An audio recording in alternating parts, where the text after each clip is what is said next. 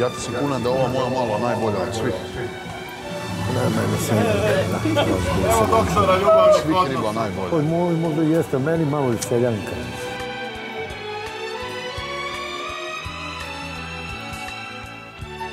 Pa vi morate se dogovoriti šta želite prvo, ti on. Znaš, Aleksandra? Matora, mi se znamo ovdje deset dana da bi ja znala što njemu odgovara. Ali samo da ti odgovara. je to, Alek, ti Moramo- bre, Sandra, Moramo provodimo vreme za Kažem, nema. Nisam se ponašala ti normalno. Samo ti već uđeš u sve. Kad sedite cijelu emisiju, to je sve, sem što niste osvaničili vezu. To je, vi ste isto.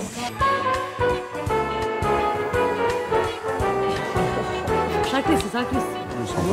A rekao sam ti neke stvari da me smetaju, ti, ti ste ovo, ono, vamo, tamo, Pa i meni smeta milion šesto stvari, hoćeš ti to da uradiš.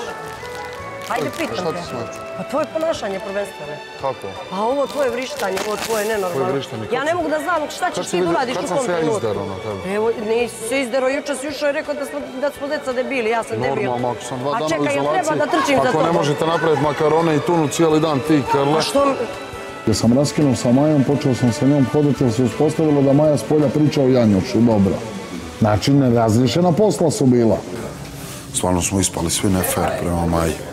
I on sad isto sere kao ono. Znači moraš da kažeš, da, care, želim s tobom da uđem u vezu. To odlaganje 10-15 dana, ko to odlaže? Ovdje ti je jedan dan ko napolju prije. Nije, tri. A meni treba samo povjerenje da vidim, da vidim taj sednete da je da to. puta, ne kao da ležite u krevetu, provodite vreme sve, a nećete u vezu, kao treba vam vremena za Napravio sam si problem na drugu stranu, ti sjediš po- na stolu, spavaš tamo pored nekog koji iskazuje da je zaljubljen u tebe. Ovdje, gdje se god okreneš, vodiš rabrove. ti znaš da je to moj krevet, Oni, tu se zagrliš, preslobodna si. A šta ja treba te pitam, smijem li se pokačem s nekim, jel? Kad me izdrvira?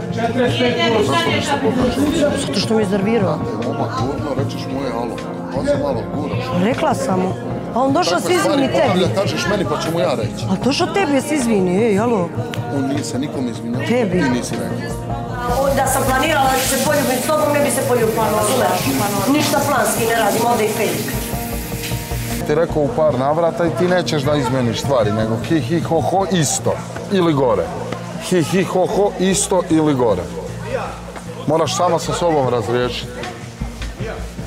Jučer sam ti govorio u sobi, nemoj da ulaziš u konflikt sa Dinom. Ti si izabrala da uđeš. Ja sam izašao van iz sobe, ti se nastavila svađati s njim. Ja sam se vratio nazad, ti si i dalje se nastavila. A to, ta svađa se danas e, e, protegla na radio, sad na obiteljski sastanak i večeras će na pitanja novinara. Ili me sluša ovdje, sam prošao ovdje pakao i znam kako stvari funkcioniraju, ili me ne sluša, idi svojim poslom. Razumiješ? A doktor, sve u pravu, šta